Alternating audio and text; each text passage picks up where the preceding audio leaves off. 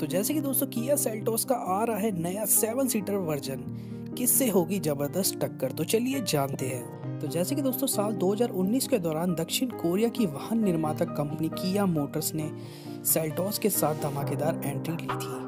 Kia Seltos को भारत के auto market में उतारने के बाद लोगों की पसंदीदा बन गई थी। भारत ग्राहकों के बीच इस गाड़ी के शानदार प्रदर्शित के बाद भारत में इस कार का फाइव सीटर वर्जन उपलब्ध करवाया गया था। लेकिन अब कंपनी इसके सेवन सीटर पर काम कर रही है। ये कार होंडा क्रेटा को टक्कर देने वाली है और भारत में भी अब लॉन्च होने वाली है। जैसे कि दोस्तों सेवन सीटर किया सेल्टोस और होंडा ने नेक्स्ट जनरेशन क्रेटा को एक ही प्लेटफॉर्म पर तैयार किया है। चीन के बाज़ार में भी सेल्टोस की जोरों पर बिक्री चल रही है। चीन के बाज़ार में बेची जाने वाली कार सेल्टोस भारतीय मॉडल की तुलना में 25 एम mm ऊँची 20 एम mm लंबा व्हील बेस और 30 एम mm लंबाई है। इससे इस बात का अंदाज़ा लगाया जा सकता है कि सेल्टोस का प्लेटफॉर्म काफ़ी चलित है।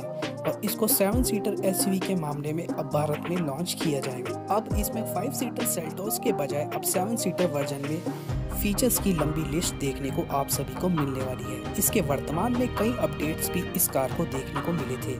इसके चलते ये ग्राहकों को आकर्षक करती है। इसमें बड़ा सनरूफ और एयर प्योरीफाई बड़ा और 10.25 इंच का एसी डिच स्क्रीन डिस्प्ले आपको देखने को मिलता है। यदि इंजन की बात करें तो दोस्तों सेवन सीटर सेल्टोस में आपको फाइव सीटर वर्जन की तरह ही इंजन उपलब्ध करवाया जा सकता है।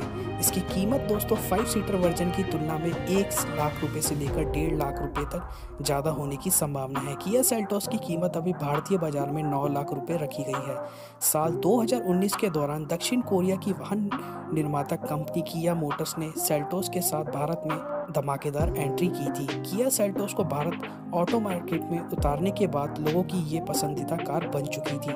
देश में अब इस कार को फाइव सीटर वर्जन में उपलब्ध करवाया गया था, लेकिन अब कंपनी इसे सेवन सीटर अवतार में हम सभी के लिए जुलाई के बाद लॉन्च करने वाली है।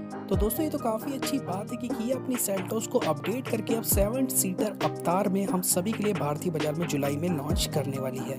अब देखना ये कि दोस्तों, भारतीय ग्राहकों के दिल में Kia Seltos seven seater variant कितनी जगह बना पाता है। और सामने दोस्तों, टक्कर के लिए क्रिएटा का सेवन सीटर वेरिएंट भी भारतीय बाज़ार में हम सभी के लिए लॉन्च होने वाला है। अब देखना यही है कि दोस्तों, इन दोनों कारों में से कौन सी कार ज़्यादा लोग पसंद करते हैं। बाकी दोस्तों, अपनी राय हमें कमेंट बॉक्स में ज़रूर बताइएगा। ये छोटी सी अपडेट वीडियो को बिना लाइक करे बिल्कुल मत जाइएगा मिलेगा आपसे नेक्स्ट वीडियो में।